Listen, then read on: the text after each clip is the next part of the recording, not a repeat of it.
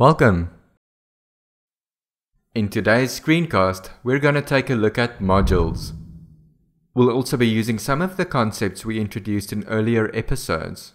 We're using the same environment we introduced in the first ES6 episode. Go check it out if you want to have the same setup we'll be using in this screencast. I've created an additional file called vehicle.js. We're going to code up some logic in here and use it in the usual app.js file. Right, let's start. We code up a class to represent a vehicle. We want to define a constructor to store the make and model of the vehicle. Here I'm using destructuring to pull the single argument variable apart into two variables which we store away. Let's quickly recap on destructuring.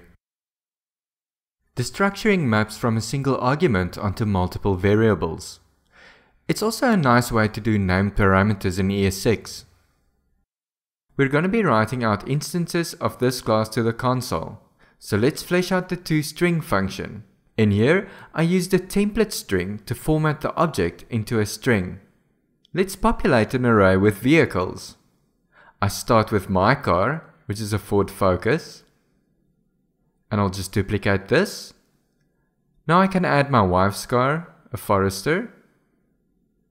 And lastly, my trusty commuter bike. Now before we do anything else, let's go to app.js and try to import logic from this file. There are a couple of ways to import modules. We're going to look at two ways currently supported by Traceur.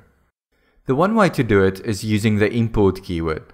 The import keyword is typically used to selectively import from a module.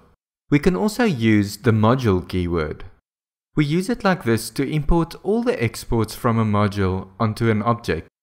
In this animation I used greetings for the object name. We'll start with the module keyword. So we say that we want to assign a module called vehicles from the file at this path. Let's spit out the contents of our vehicles array to the console. Now this won't work, but I want to show you what happens if we run it. You can see it didn't resolve vehicles. That's because we didn't export the vehicles array from the file. Let's do that now. And now it works. I mentioned that there are a couple of ways to import modules, and I quickly want to show you a different way. It looks a lot like destructuring. We use the import keyword instead and wrap the variable we want to import in curly braces here. This makes a variable called vehicles, which points to the actual vehicles array in the vehicles file available on the scope. So we don't need to go through a module name here. This is a bit more selective than importing the whole module. At the moment, we're just exporting the array from the module, so let's see what will happen when we export multiple constructs. This time, we'll also export a function which we'll define now. We code up a function which will search the vehicle array and return the first match. Notice that I'm using destructuring on the single argument again. Now we call filter on the array and use the fat arrow syntax to return only items that return truthy when we call isMatch on it. IsMatch is a function we'll define now. On the vehicle object, we go to define the isMatch function and basically say it's a match if either the make or the model matches exactly. To use this function in app.js, we specify that we also want to import this function and make it available on scope here. We tell the function to look for a focus and assign the result to a variable. And now we log the results to the console. Seems like it's working. Now that we've got multiple items we import from the vehicle module, let's use the module keyword again and assign the whole module to vehicles. Now we need to prefix everything with the module's name again. So basically this imports everything from the module and make it available on the variable we decide on, in this case, vehicles. So we wrote some weird code to put modules through its paces. but I'd really like to show you how I would actually model this code.